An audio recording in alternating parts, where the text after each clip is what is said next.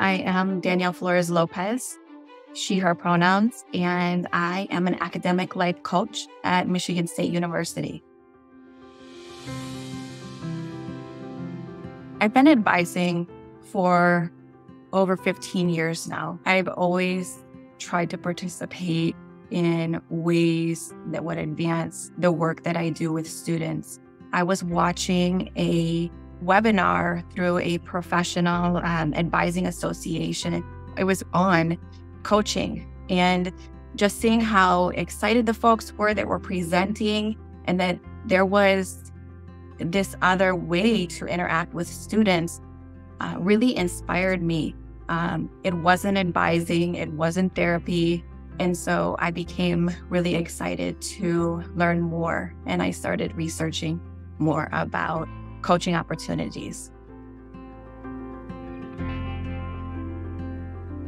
Coach Training EDU was an opportunity that was affordable for professional development for my university to receive certification from uh, the International Coaching Federation. What I think this can bring to the institution is another opportunity for ways to work with students for advancement and student success and receiving that certification and seeing positive outcomes from working with students is another um, benefit for any institution.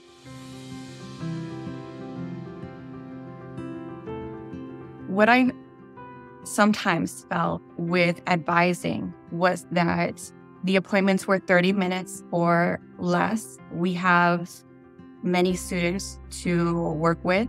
There are several different advising styles. It's hard sometimes to fit so much in um, of what the student is asking, what we need to share with students. And a lot of times we view the advisor as that expert on that major or the information the student is seeking. When I moved towards coaching, one thing that I, I, I really like about it is that the student moves to that expert area, that the student is the one driving the, the conversation. I schedule the appointment for one hour and I, I make that a priority. And so, working with students in coaching and academic life coaching, I think it's very, very important to make the distinction to students, to colleagues around the campus when you start bringing the life coaching, academic life coaching into your institution, into your meetings, because we hear the words coaching, we hear the words um, academic coaching, even used so many times, and it's not the same thing as academic life coaching. When you have the training, when you have this uh, background to pull from when you can use these powerful questions and schedule the time and work with the students for several weeks for a semester um, and you can see that growth it's just very rewarding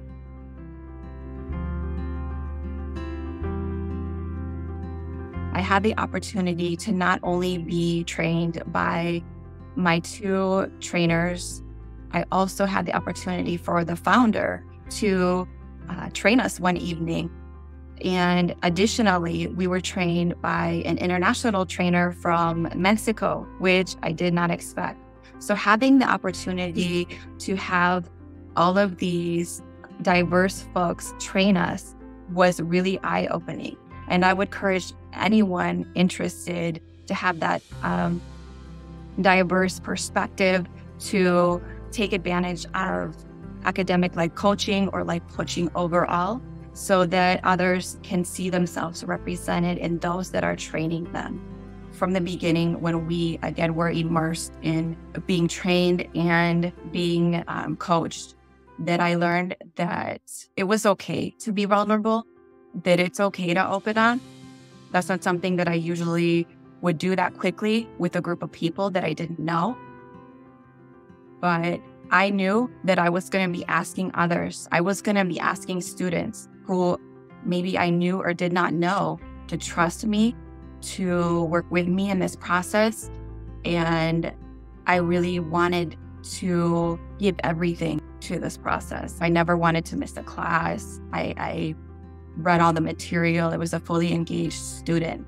And um, I think that that just really made so much more of a difference with that mindset going into this and, and having that um, mindset throughout the whole experience. I think coaching has impacted me in a few different ways. When I was going through the training, I didn't exactly know everything to expect. And not only learning about coaching, but being coached really allowed me to have an appreciation for the profession. To get that immediately, it just really, it is transformational. It, it did allow me to think about different opportunities that I could have for myself, both personally and professionally, and how I could grow as a person. So um, I think coaching is very meaningful for personal and professional growth. I have been a big advocate for it, and I've really shared this opportunity with family and friends. It's just, again, given me another opportunity to be able to express myself, be able to pause, reflect, to think deeper, and to be able to grow overall. I would say to someone younger than me, if I was a student, I would say take advantage of this opportunity. Learn what coaching is, learn how it can benefit you, it's a free opportunity to you here at the university. If I if I were saying this to someone younger than me that is a colleague, I would say if this professional development opportunity is available to you, again, take advantage of it. Um, you never know where it could lead you both internally in the institution and externally in your personal life, um, and what it can do for you if you want to grow a business personally and or personally being coached. I have uh, shared, of course, my experience at, at Coach Training EDU um, and how just, and again, enthusiastic I've been about it and, and the benefits I see from it. But I definitely tell them, you know, please take your time. There's lots of companies out there that offer the training, set up a session see who you would be best fit with. Um, talk to the folks at that organization, both inside and outside of the organization. We can use this in different ways. So, again, it's just about, um, I think, information gathering overall. I think one of my favorite tools overall is the life wheel. And so, doing that exercise with students in the beginning and having them aim the different wedges to see what uh, takes up the main parts of their life. I really like starting there. I always like to to weave something fun into the the coaching sessions. So whether it is asking about what their favorite character is, or their favorite flower, or their favorite color, something fun that when they're going throughout the week, they can remember that and remember how that relates to their academic life coaching session. I'm going to say that one of my biggest influences is always my husband. He is an amazing partner. He has defied all odds, I feel like, in life, whatever has been thrown at him. And he's made it so much easier for me to reach my goals throughout life.